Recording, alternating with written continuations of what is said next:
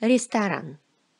Ресторан стоит на самой высокой ступени системы общественного питания.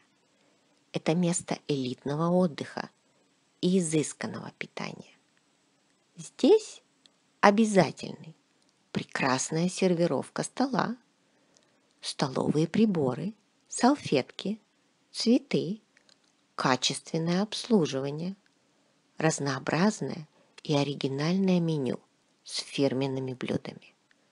В меню ресторана обязательно входят холодные и горячие закуски, салаты, первые блюда, вторые блюда, фирменные блюда, десерт, алкогольные и безалкогольные напитки. В ресторане представляется услуга резервирования столика. Рестораны размещаются, как правило, на центральных улицах городов, при гостиницах, на вокзалах, в аэропортах, в местах отдыха.